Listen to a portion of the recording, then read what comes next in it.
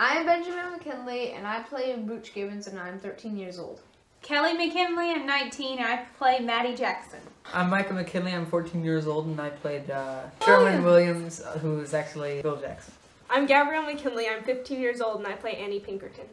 Amanda Grace McKinley, 17 years old, and I played Deputy Judy. Caleb McKinley, I'm 21 years old, and I played uh, Sheriff Buckman and John Neville.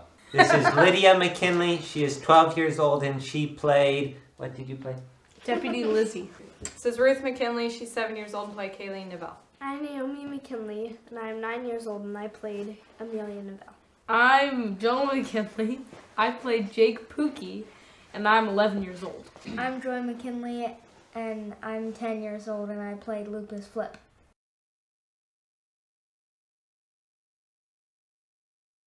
Usually we just play. Play. hmm Usually, because we're usually not in filming. You are. No, I've, I'm only in three scenes, besides the interview. Four, five. Because you're in the interview, you're in the doctor's scene, and you're in the with three. it's five. We get in the car really fast, and we're like, like busy and like, oh no! And so we're like, I'll rush here. And then when we get to the house, we are we are not allowed upstairs because it's messy. We get Well, in the car, I we drive for about 45 minutes. It depends on whose house we're how filming at. Because when we're going to their house. good at the film bay, but I always end up being bad. Yeah. It takes us 10 to 15 minutes to set up the equipment. It takes longer to set up the people. Depends on the person.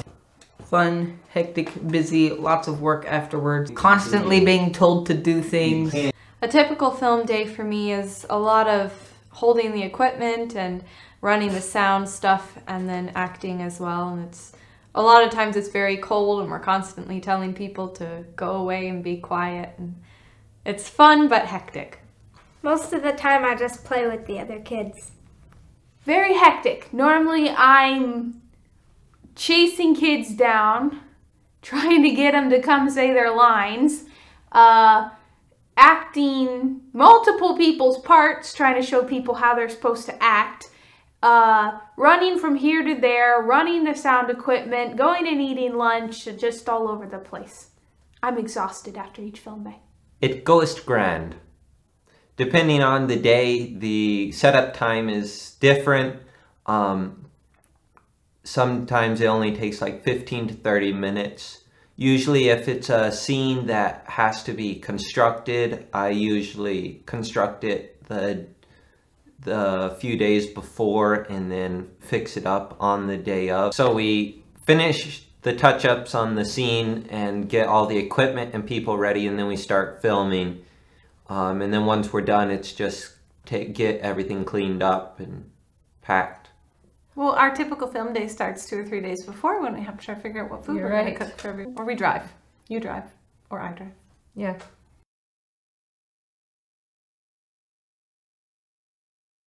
I remember a lot of things. Caleb and Joel were doing the abandoned house scene when they were wrestling. Caleb fell down right on top of an ant nest, and when he got up, he said something stung him, and I knew what it was. My memorable experiments when was when I I remember when Caleb was wrestling with Joel, and he said he had I a know more stuck about in that his than you. back, and it was tickling him. There are so many of them. That's not interesting. It depends on what's memorable. Uh, fun memorable or not fun memorable. Playing on cold, wet, moss covered concrete outside the Garda station. when we were filming the scene where on Bruce Gibbons' end, they were all these kids were walking by waving bells and dressed up as Santa Claus, and we were having a hard time. And we almost thought we couldn't film there that day, but we did get to. They stopped going on their Santa walk after a while. It was fun. You weren't even there. How do you know? I look like Santa Claus. Probably the most memorable experience for me is when we were filming at the bed and breakfast. Um, Micah and I were standing out in the hall, and we were filming Annie Pinkerton in the bedroom next door, and this guy comes running up the stairs and says hello to us. And I shushed him because I was so used to shushing Micah the entire time. And later we found out that he was actually the son of the lady who owns the bed and breakfast. I remember sitting by the wall in the freezing cold trying to keep warm in the alley in the estate where we filmed where the goons were attacking the mayor. Well, when I had to do my scenes, it was freezing cold outside. My fingers went numb, like I couldn't feel them at all. And when I got back in the car and tried to heat them up, I felt like I had ants all over my hands. and then there was the time we were filming in the park, and uh, it's too embarrassing to even talk about, so I just won't say. Uh, we were getting right at finishing up a scene and a group of teenagers came walking over and this one guy said he wanted to be in the scene and uh, grabbed the microphone from timothy and uh, gabrielle's face was a memorable experience that i will never forget. She was absolutely horrified but she couldn't go anywhere because she was tangled up in sound wires and so she just gave me this look of horror and i reached out and grabbed the microphone from the guy and said um this is very expensive equipment. We don't let anyone touch it. And that became a well-known line from then on whenever anyone tried to touch the microphone. When we were out at the bad guys hideout um, we had to film the a few scenes multiple times um, and trying to get the the dogs in the scene was interesting trying to get them to do what we wanted because they'd they'd always want to go do something else and so we had to make them look natural. One way that we got them to um, look at the ground and look like they're searching for something was we brought some cat food along and would throw it on the ground and have them look for it and try to find it.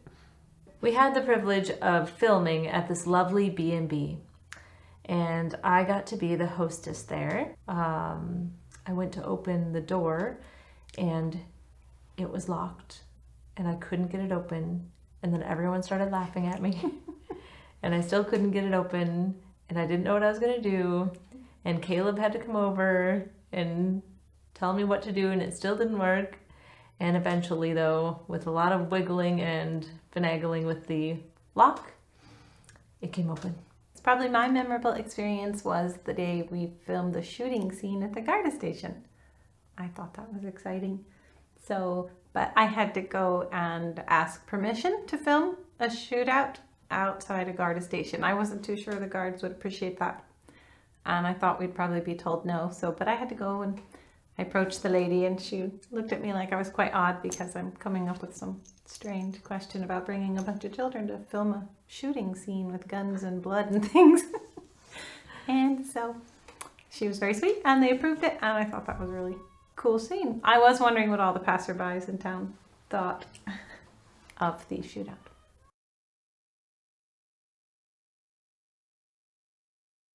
I, li- I liked her because she was like me. Of course, it was you. She, she was like Well, I thought that my character was really good besides one thing. I really wanted to be a funny bad guy, but they wouldn't let me, so I almost cried and punched somebody in the nose, and that would have caused that we didn't do the filming. And I'm glad I didn't do that, otherwise, I wouldn't be able to get that piece of chocolate I got. Well. Well, actually, I think. Well, actually, I thought that her character, her character was really disagreeable, and that we were like best and worst buddies, like at the same time, because I was just my character was great and her character was weird. so Well, I think just I the just- same that you do. Really? Yes, but mine was great and yours was weird. when I first thought about Annie Pinkerton, I thought she was going to be nice, but then when I when I read the story Caleb wrote, she was very rude to the secretary, and I was very surprised. But now I'm used to it and I like it how it is. It's more like myself than uh, other characters I've played, and it was just it's just easier to play him. Um, I really liked being Deputy Judy. It was a little different than my normal personality, but it wasn't so strange that I had to really think about acting. It was mainly just being me, but there were a few things that were a little hard to change. I didn't like having to act so ridiculous all the time. My character is the most fantastic character in the entire movie. I'm very proud of myself. I really liked my character. It was fun, fun, fun, fun. I enjoyed playing my character. Um, it was a little different than what I normally do because I was trying to act two people in the film, and it was difficult to change from what I normally act. So I had to really concentrate on trying to do something different for each character.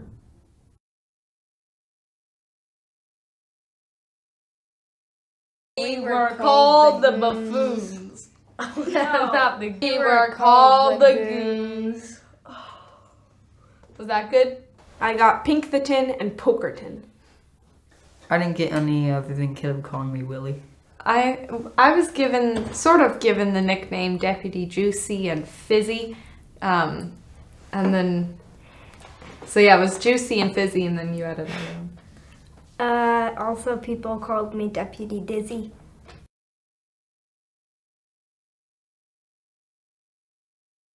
Or Remember what we said? Ruth's is Gibbons to base, and mine is um Oh, uh, Mine is what was that? Will Two Clockwork. That's in the, one of the phone calls. when uh, we were getting captured, and I said, "Can I watch TV for the last time?" And he was like, "I want to watch TV for the last time." And so that's really my favorite. My favorite line of dialogue is I always obey the law. Well, my favorite line of dialogue is Gabrielle's part when she says, You're not pointing that at me, are you? Or should I call you Bill Jackson? Yeah, I'd say that's one of them. I always obey the law.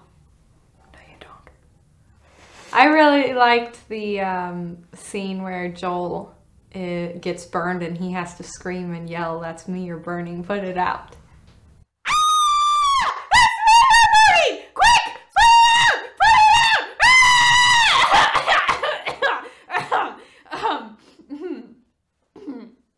Um, the mayor was talking about um, the coffee shops. It's just funny because Kelly doesn't like coffee.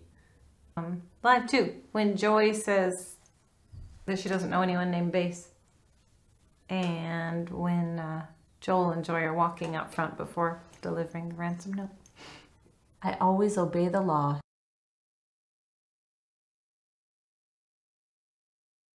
None. I disliked the phone call scene. The scene where I didn't get a donut. Maybe the one where I had to be the homeless guy because it was really, really cold there. was well when we we were well I was at the abandoned house because it was so cold and that's the only reason I ever had and I ever will have because that's the most the scene I dislike the most. Do you have any objections to that remark? Yes. Yes. I disliked filming the scenes at the abandoned house because cars kept going by, and whenever the cars went by, they went so slowly because people were staring at us and they always honked their horns. I probably disliked that one the most too because I didn't ever get to do anything very much, and it was always raining and cold. I, I didn't like acting the scenes where we were sitting in the office of the police station because it's just sitting there and talking, and it was really hard to keep a straight face. My scenes because they were so freezing cold. The scene where we're going to raid Maddie Jackson's house because it's it was raining, and when we were coming up to the house, we had to we had to go out there about three times to get the scene correct, and we kept getting wet, and water kept coming in the house.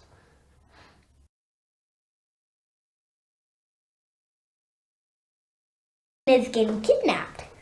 My favorite scene is um the phone calls. Well, you just said that. Well, I meant one of the phone calls. The explosion scene. Miss Pinkerton and the sheriff. Sherman Williams getting shot. Um, the scene outside the Garda station where I got shot, and then probably the scene, the uh, the scene before that. Sherman Williams pulls the gun on Sheriff Buckman and Annie Pinkerton, and then the two scenes after that where I get to shoot him. I like the scene where I capture Joel because I like to, because I got to run into him. The jo- I like Joy's scene where she's talking to Bruce Gibbons and uh, he says, uh, Gibbons to base, go tell boss something, something, something. And she uh, says, okay, but I'm Lupus Flip. I don't know anyone named Base. Oh, there was another one that I liked where uh, I was talking on the phone. Well, you're not supposed to know it's me, but yeah, it was me. I was talking on the phone and I had to get mad at Joel, and so I banged the table. That one was funny to do. My hand hurt though after that because I banged the table so many times. um, as we were getting ready to go raid Maddie Jackson's house because um, we were in the police office and the building we were in had um, communication things between all the rooms or like telephones.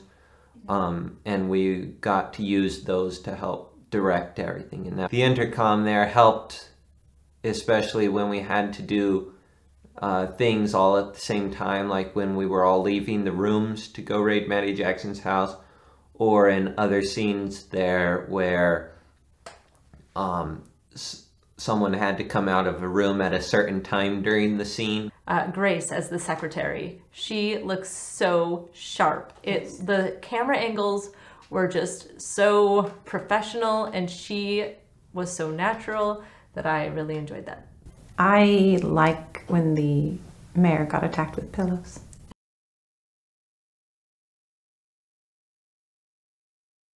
Uh, very, very, very, very good. I think that it was really good. It's nice, yeah, it's good. I like it. Oh, is that what we're interviewing about?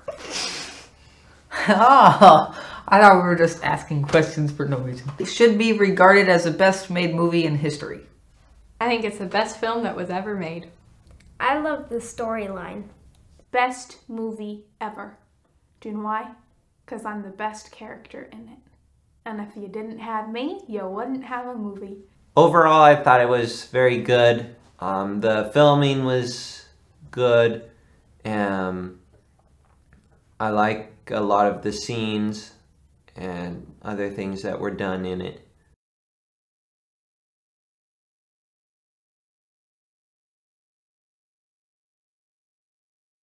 Well, uh, there was one morning I had this idea because I'd been watching um, Micah and Joy, who were playing with Caleb. They were calling him Sheriff Buckman, and they said said they were stealing Sheriff Buckman's gold, and they called themselves Brooch Gibbons and Lupus Flip. So that's how the idea started. I mentioned it to Gabrielle, and it just grew from there.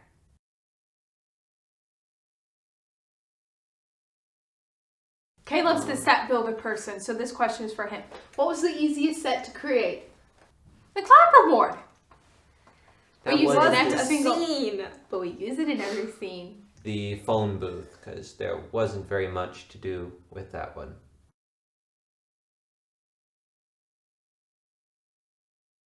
The prison, um, because we had to clean it out, and then I had to come up with a way to design it, and then design the door to make it work how we wanted without catching, and then the bed and other things in it.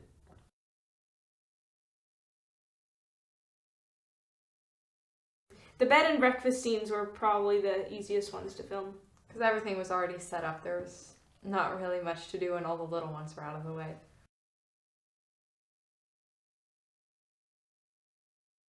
The scene that had Joel and Joy in it. Oh, and Micah were the hardest. Also the scenes that we had lots of vehicles in like out by the bad guys hideout we always had to pause and wait for the cars to go by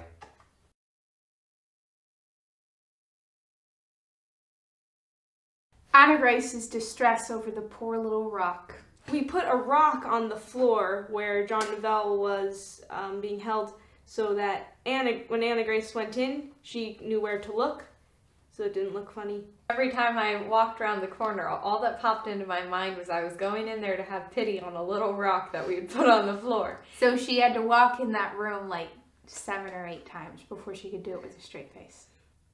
A pitiful face.